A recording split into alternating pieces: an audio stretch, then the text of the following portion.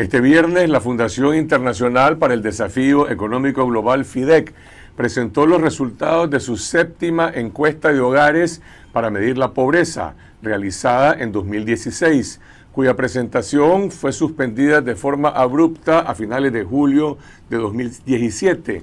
Entonces FIDEC se excusó diciendo que la divulgación de la encuesta se posponía para otra fecha alegando que no era oportuno en ese momento por la coyuntura del país. Sin embargo, fuentes diplomáticas aseguraron que la no presentación de la encuesta se debió a una virtual prohibición gubernamental que ejerció fuertes presiones contra FIDEC y COSUDE, el organismo de cooperación suizo que auspicia esta investigación independiente por la discrepancia de sus datos con los resultados de las encuestas oficiales. Un año después, Ahora que FIDEC presentó los resultados de su medición de pobreza realizada en 2016, se puede constatar que en efecto hay una diferencia de 17 puntos porcentuales con los datos oficiales, mientras el gobierno alegaba en sus encuestas bianuales que la pobreza se había reducido de 29.6% en 2014 a 24.9% en 2016. La medición independiente de FIDEC indicaba que la pobreza más bien había aumentado de 39% en 2015 a 42% en 2016. FIDEC también presentó este viernes los datos para el año pasado y aunque en 2017 se produjo una leve mejoría, pasando la pobreza general de 42% a 41.2%, la pobreza extrema aumentó de 7.7 a 8.4%. Las encuestas de FIDEC representan el único instrumento independiente de monitoreo de los principales indicadores sociales de pobreza y se realizan anualmente desde 2009 con el apoyo de COSUDE, encuestando cada año a los mismos 1.700 hogares para poder evaluar cuáles son los factores que inciden en sus niveles de consumo calórico y determinar cómo logra salir de la línea de pobreza. Y para conocer más a fondo las implicaciones de los resultados de esta encuesta, nos acompaña el economista Enrique Alanís, director de investigaciones de FIDEC. Buenas noches, Enrique. Buenas noches, Carlos.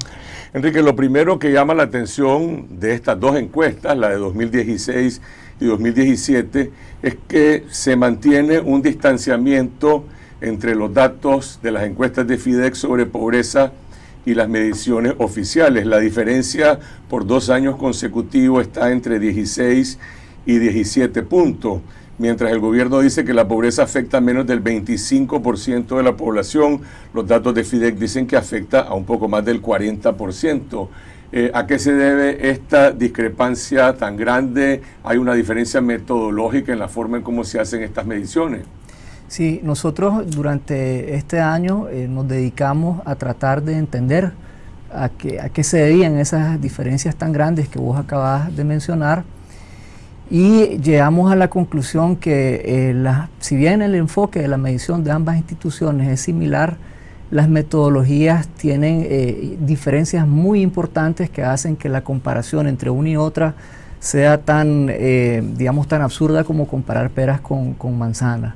Por ejemplo, las líneas de pobreza, eh, de, pobreza general de INIDE son sustancialmente más bajas que las que utilizamos nosotros.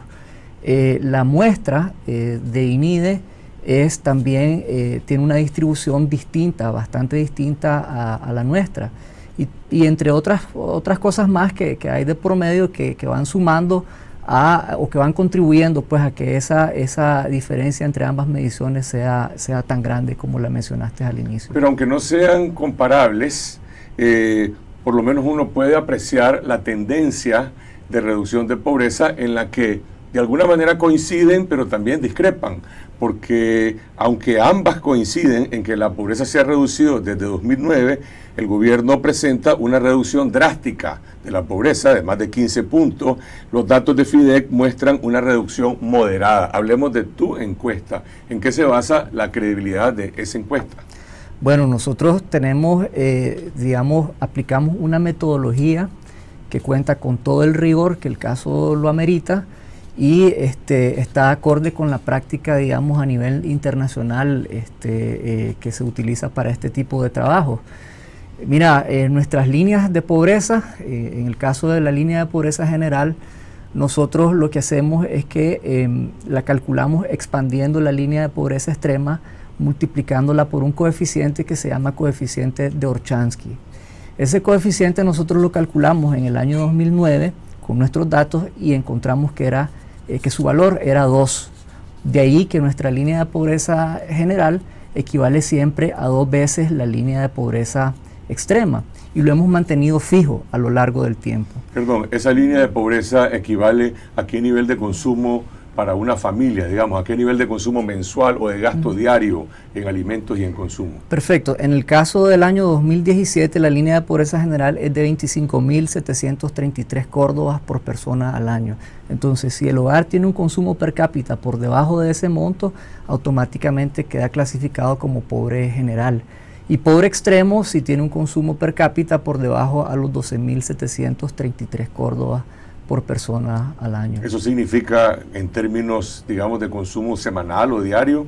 En términos de consumo diario viene siendo la línea de pobreza extrema eh, equivalente a un dólar con 15 centavos al día y la línea de pobreza general equivale a 2 dólares con 33 centavos al, al día.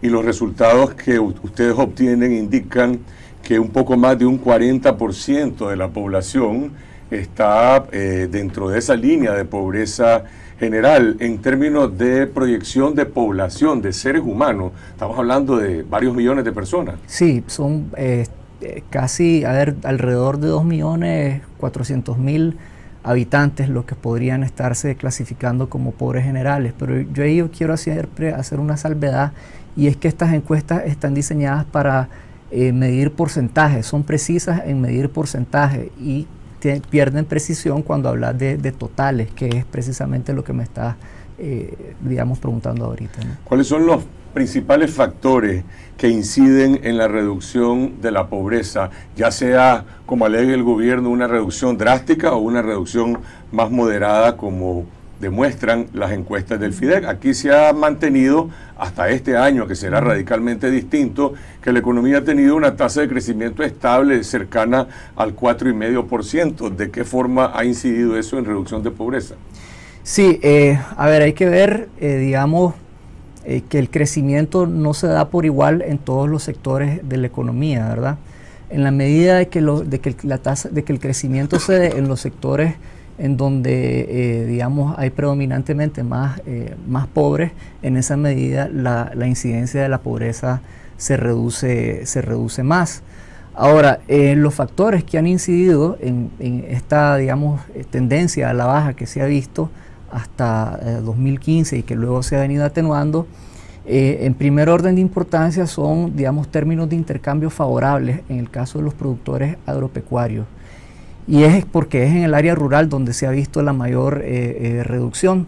Entonces, cuando mejoran los términos de intercambio de los productores agropecuarios, la incidencia de la pobreza este, en el área rural baja. Está hablando de precios para los productos y por el otro lado de salarios para los para los trabajadores. Bueno, precio de los productos que, que, ellos venden eh, eh, en relación al precio de los productos que, ellos consumen. Entonces, cuando esa, esa relación de intercambio mejora, entonces la pobreza disminuye porque aumenta eh, el ingreso eh, de esta gente y, también aumenta por consiguiente su capacidad de consumo, que es la, medida de bienestar de este estudio, que se utiliza en este estudio. Los programas gubernamentales, ¿qué nivel de cobertura tienen? En la muestra que ustedes tienen, por ejemplo, ¿cuántas personas eh, obtienen beneficios de programas gubernamentales y qué impacto tienen en la reducción de la pobreza? Programa por programa, digamos, no estamos en capacidad de responder esa pregunta, pero en su conjunto, es decir, eh, si, si, un, si, uno ha recibido alguno de esos programas que nosotros investigamos, eso sí te lo puedo responder, y eh, anda por el orden de del 20% de los hogares que, responden a haber sido beneficiados por alguno de los programas que nosotros este, eh, investigamos. Y el impacto que, tienen en la contención de la pobreza es de alrededor de dos puntos porcentuales. Es decir, si estos hogares no hubieran sido beneficiados por, por esos programas, la incidencia de la pobreza general eh, hubiera sido dos puntos porcentuales más alta que la que, la que observamos, que fue 41.2% para el año La investigación que ustedes hacen permite tener una conclusión en relación a qué tan focalizados están esos programas en los sectores más pobres. Hay mucha controversia en relación a que si sus principales beneficiarios están, digamos, asociados a los partidarios del gobierno.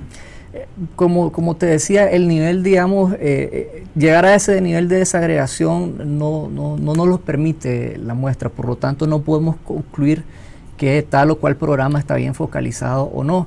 Sin embargo, cuando vos ves que el impacto es, tan, eh, digamos, tan chico, pues por intuición vos podés concluir que hay, hay unos errores de, digamos, de, de inclusión, desde que se están colando beneficiarios que son no pobres y puede ser también que haya gente pobre que no esté siendo beneficiada. Entonces, sí, pues hay cierto margen para mejorar en ese sentido.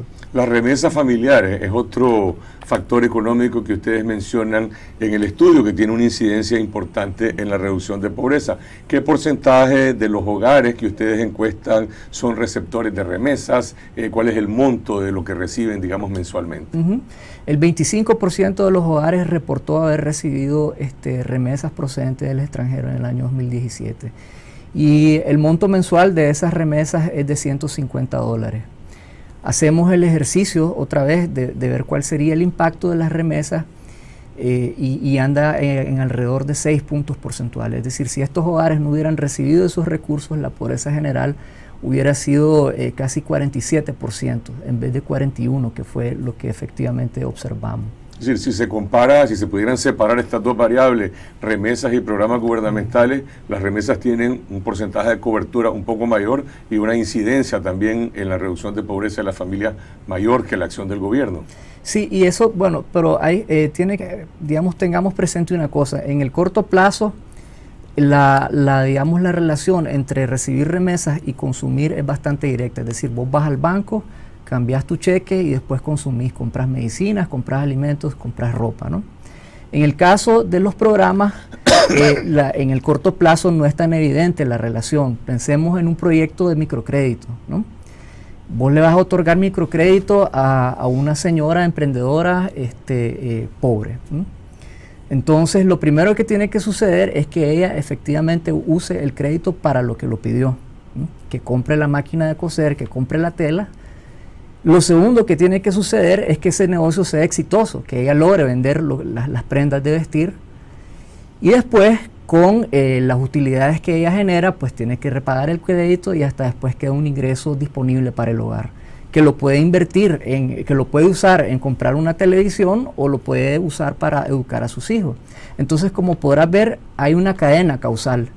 Y si se rompe un eslabón de esa cadena, el impacto de, esa intervención eh, queda, se anula. Pues, Estas investigaciones de FIDEC, estas encuestas, se, se hacen anualmente desde 2009 y se hacen en, en, el, en, la misma época del año. En la misma época del año y anualmente desde 2009. Eh, agosto y septiembre, todos los años nosotros visitamos a los 1.732 hogares. De hecho, de los 162 municipios del país, nosotros visitamos 93 municipios y siempre los mismos. O sea que este año, el eh, 2018, ustedes ya habrán a estas alturas terminado su trabajo de campo. Supongo que sí, sí se hizo la encuesta este año. No, no, no. Lamentablemente, a ver, quiero aclarar, este, ahorita estamos concluyendo una fase del proyecto, ¿verdad? Es que era de 2000, eh, recolectar datos 2015, 2016 y 2017. Para el 2018 no estaba contemplado hacer una recolección de datos, con lo cual este, eh, pues la, la, medición de este año no, no se realizó. Eh, hay interés para continuar haciendo este ejercicio eh, y eventualmente pues se puede hacer en 2019. Ahora, en el estudio, ustedes hablan del impacto que tiene un incremento o una reducción del consumo en el impacto de pobreza y presentan diferentes proyecciones o escenarios eh, para este año y para el próximo año en función de posibles reducciones que se produzcan en el consumo. Por ejemplo, el Economist Intelligence Unit proyecta o vaticina un decrecimiento económico de 3.4%, FIDEC está hablando de entre menos 1 y menos 4%. Ese tipo de realidades económicas que seguramente impactarán el consumo, ¿de qué manera pueden eh, proyectarse en aumentar el número de, pobres? Entonces, para, responder a esa inquietud, nosotros hicimos un ejercicio de calcular las elasticidades de la pobreza con respecto al consumo, es decir, cuánto cambia la pobreza cuando el consumo se reduce en 1%. Y por ejemplo, si la contracción del consumo fuera de 10%, el incremento en la pobreza sería de 13%. Eso significa pasar de una pobreza, de una incidencia de la pobreza de 41.2 a una incidencia de la pobreza de este 46.6%. ¿no? Entonces, nosotros este, planteamos distintos escenarios este, no, no, nos inclinamos por ninguno de ellos, simplemente los lo, dejamos ahí para que ustedes después los analicen. ¿Cuáles son, ¿Cuáles son los otros resultados? Es decir, 10% tendría un impacto de aumentar la pobreza hasta 46%. Sí, si, si la contracción del consumo fuera de, 20%, la incidencia de la pobreza general sería de 51.9%. Y si la contracción del consumo fuera aún mayor, 30%, entonces la incidencia de la pobreza general sería del 57.3%. Ahora, esa contracción del consumo, ¿se puede hacer una relación entre niveles de decrecimiento económico y el impacto que eso puede tener en el consumo, simplemente para, para saber, como has dicho, cuál de esos tres posibles escenarios eh, se corresponde más con lo que está ocurriendo este año, que no va a cambiar de aquí a diciembre. Sí, eh, sin embargo nosotros preferimos no, digamos, este, aventurarnos a hacer ese tipo de proyección porque igual después no voy a hacer y no se cumple y después me, me reclaman, pero dejo, dejo planteado esas posibilidades, ¿no? Incluso podríamos hacer un escenario en donde el consumo cae hasta 40% y, y ahí vas a ver que la incidencia podría llegar hasta el 60, y pico pues, eh, por ciento de, de, de pobre. Entonces, preferiríamos no, no, no proyectar nada. Decías que este año no se hizo la medición, de manera que el próximo año por lo menos no vamos a tener el resultado de esta encuesta. Bueno, eh, FIDEC ha trabajado todos estos años con la Agencia de Cooperación Suiza. Esa relación, eh, después de lo que ocurrió el año pasado, que se pospuso la encuesta, ¿se mantiene o se ha suspendido? No, la relación con COSUDE se mantiene inalterable. Es decir, nosotros a lo largo de todo este año hemos estado trabajando en conjunto con ellos para eh, tratar de entender eh, a qué se debían esas diferencias eh, metodológicas o las diferencias en los resultados que llevaron a, digamos, a posponer la presentación de nuestras encuestas y, digamos, este, la relación con ellos está en, en, los mismos términos que teníamos antes. ¿no? o sea, ustedes, ustedes se proponen continuar haciendo estas investigaciones independientes. Así es, este, hay, hay interés, hay interés, eh, no, por supuesto todavía pues no hay, nada no hay nada formalizado, pero sí hay interés y, y, de varios donantes, ¿no? y de varias partes.